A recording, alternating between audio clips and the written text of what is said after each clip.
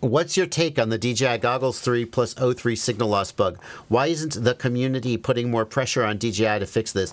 Uh, is is the community in the room with you now? Where is the community? I hate that term. This will now segue into a rant about Blunty. You want to get in on this about how I hate the term? We're going to rant about how we hate something. I feel like that's right up your alley. the community. What yeah, is the? Com- I, I queued this because I knew you would rant about it. You did? Oh, I'm so predictable. Uh, hundred percent. Um, uh, why isn't the community? What does that even mean? What what would it mean for the community to pressure DJI? Do you mean Madstech would be writing letters to them? Madstech did write an open letter to them. Is Madstech the community? No. The why aren't you writing a letter to them? Did you? You and a whole bunch of other people did. What what what is not happening that you would like to see happening that would make you feel like the community was pressuring them more? Serious question. Serious question. I mean this.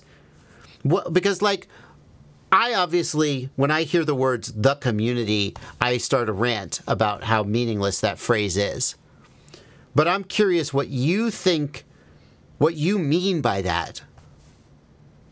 So, he ID Drew. Meaning, he says, meaning people who bought O3 and are suffering this issue, I did write an email to them. But yeah, man, how do you know the other people didn't too? So did so did all the other people. Let's not be mad at. Let's let's take it easy on ID Drew. Okay. I don't want to like yell at him. Uh, he's not actually the source of our ire, or the target of our ire. Yeah, but, but uh, as Blunty said, uh, uh, I'm sure a whole bunch of people contacted them. Right. So like, you wrote an email. So did a bunch of other people. The, the, I think the community is pressuring them. It, like, I'll just say, he says, as a leader in software engineering, it baffles me that something so serious is not fixed yet. And I'm going to guess that means you're new to the hobby or have not used DJI before. Yep. So the problem is we're like uh, the ugly stepchild who nobody ever looks at because we're not a lot of money to DJI. We're like a division of DJI. Uh, I'm just explaining this for. I'm trying to explain this for real because I'm assuming you don't understand, right? Yeah, exactly. Like That's why I don't want to be. I don't want to be mad yeah. at him or angry at him. Yeah. I, we're, we're we're salty about this topic, but yeah. he's just poked. A, he's poked a, a wound. Go ahead.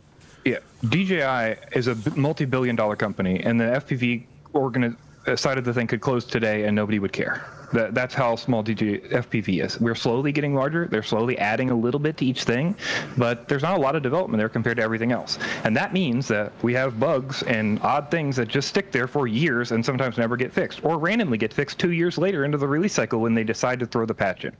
Uh, there's a chance that, you know, this will get fixed in three months. This will get fixed in a week. This will get fixed never. Right? That's sort of how DJI rolls. It's like whoever, whatever ticket this gets on, whoever's feathers get ruffled the right way. Well, if it's a Tuesday and it's cloudy, right? We don't really know why, but this happens a lot of the time. One of yeah. the things just think about, right, is like the DJI goggles V2. You still cannot keep Vistas and O3s bound at the same time. Yet when you switch, you have to rebind the Vista. When you That's switch, you have to rebind the that O3. has existed but for five years. But that was fixed on the goggles 2 in the Integra, yep. right? So like, and I know you're saying this is way more critical. You're blacking out in flight, but I'm just saying like DJI looks at these things as like they're critical as they can be for a division of the company that's small in a billion dollar company that doesn't really care about us. Yeah, and and it's weird because um, I will say that public pressure I don't think uh, has a lot to do with their decision making process. So when people say why aren't people applying more pressure? I'm like, well, I don't, I don't like, it doesn't matter because they're going to do what they're going to do. And like, it's not that they're not aware of the public pressure. And it's, I think it's not that they don't care. It's just that they are a enormous uh, bureaucracy, a giant corporate machine and so somewhere there's a community manager who is like, oh my God, people are losing their freaking minds about this. And that person goes into a meeting with 17 other people who are decision makers and, and influencers, and they say, hey, people are losing their mind about this bug. It's a big deal. And then somebody else is like, some other reason why they shouldn't fix it because they have other priorities. And eventually a decision is made. And, and like from our perspective, it's obvious that this is an absolute showstopper of an issue that absolutely needs to be fixed. And then from their perspective, there's 17 other priorities that we're not aware of. That, that means that we don't always, things don't always work out the way that it obviously seems like they should.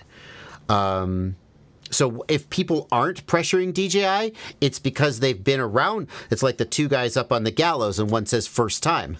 you know, is your first time dealing with a showstopper DJI bug, and you don't realize that making a big stink about it in public letter writing campaign isn't the thing that's going to make DJI decide or not to decide to fix it. Like that, there's some pressure from guys like Madstech is very nice. That there's pressure from users is nice, but like they're going to fix it when they fix it. Uh, but it's not. It's it's like not at all surprised that this happened, and it is absolutely not in any way unprecedented that a new DJI product has some kind of a showstopper bug with the FPV functionality, and we just have to sit there and suck it up until they finally decide to get off their ass and fix it, or maybe they don't. For a bug like this, it seems like they'll fix it, but but I mean the I don't know. The O4 is going to come out. Do they really care about O3 backwards compatibility? I think they do, or they wouldn't have released it in the first place. So I think they'll fix it, but I don't know. The other thing people are saying is like, why aren't they fixing it faster? It's just like somebody said, oh, six to eight hours of development time. That's bullshit. That's bullshit. What you have is a, a showstopper bug that's causing total link loss without recovery even if it was one line of code to fix it, the actual validation of the fix, testing that the fix was was reliable, testing on all different hardware, rolling it out, that whole process would be potentially weeks or or maybe even more. Uh, so DJI isn't going to just hit a button and release a patch that hasn't been thoroughly tested, probably. So um, yeah. Welcome to the welcome to the welcome to the issue. I do think they're working on it, and I do think they're going to fix it. That's the other thing. If they're working on it and they're going to fix it, writing them more letters won't make them do it faster.